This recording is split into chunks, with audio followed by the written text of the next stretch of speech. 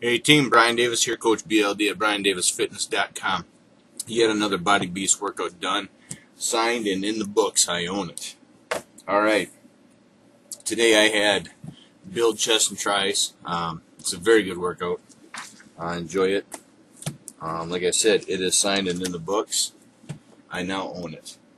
Um, nearing the end, I'm heading into my last week, Body Beast, and I'm going to do a uh, a recovery week, which uh, will involve some stretching, some yoga, uh, but nothing too intense. Uh, I am heading into insanity. I will do a fit test during that week just to see where I'm at with insanity, so I have a, a benchmark, and then uh, we'll move forward from there.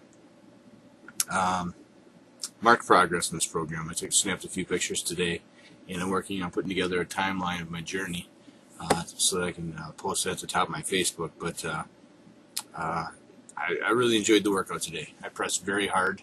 I saw marked improvements, saw a definite growth, stretched my limits. Um, I'm able to push a lot more weight than I ever have, and with good form. So I'm very, very pleased. Um, kind of a housekeeping day for me today, trying to clean my office up, get ready for the end of the year. I got to do my taxes and things like that. So, you know, a workout in the middle of the day was a nice break from that, uh, get my mind off things, and then kind of attack my second half of the day. Um, versus doing it first thing this morning, then sitting here all day long looking at the computer screen. I was able to take a break halfway through the day, so it was a nice way to break it up. Uh, but with that, I'm going to get back to it. I just wanted to make a quick video, let you guys know I did do my workout. Um, I am feeling good, and let me know what you guys did for today.